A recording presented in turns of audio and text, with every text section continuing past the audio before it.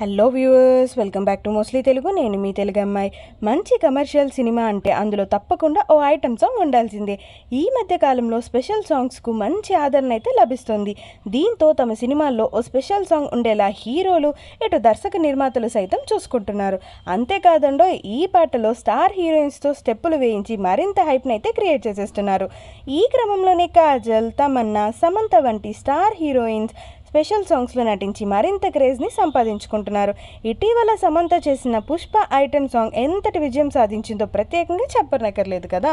పలు ఈవెంట్స్లో పెళ్ళిళ్ళల్లో షోస్లో ఈ పాట ఇప్పటికీ మారుమోగుతూనే ఉంది. ఇదిలా ఉంటే సమంత మరోసారి స్పెషల్ సాంగ్తో అలరించనుందని తెలుస్తోంది. ఇప్పటికే పుష్ప చిత్రంలో ఊ అంటావా మామ ఊ ఊ అంటావా మామ సాంగ్తో ఎంతో క్రేజ్ను సంపాదించుకుంది శామ్. ఈ క్రమంలో ఆమెకు మరో స్పెషల్ సాంగ్ ఆఫర్ వచ్చినట్లు తెలుస్తుంది. అయితే ఈసారి టాలీవుడ్ నుంచి కాకుండా బాలీవుడ్ నుంచి పిలుపు వచ్చిందట. హిందీ చిత్రమైన ఎనిమల్లోని ఐటమ్ సాంగ్లో నటించేందుకు చిత్ర బృందం శామ్ను సంప్రదించారట. అయితే దీనికి ఆమె గ్రీన్ సిగ్నల్ ఇస్తుందా? నో చెబుతుందా అనేది తెలియాల్సింది. కాగా సందీప్ పంగా దర్శకత్వంలో తెరకెక్కుతున్న ఎనిమల్ మూవీలో రణబీర్ కపూర్ రష్మిక మందనాలు హీరో హీరోయిన్లుగా నటిస్తున్నారు. సో ఇటీవల ఈ మూవీ మనాలిలో తొలి షూటింగ్ షెడ్యూల్ను పూర్తి చేసుకుందనమాట సో అలా మొత్తానికి మరో ఐటమ్ సాంగ్తో ఊపేయబోతుందన్నమాట. శామ్ మరి ఇంతకీ మీరేమంటారు?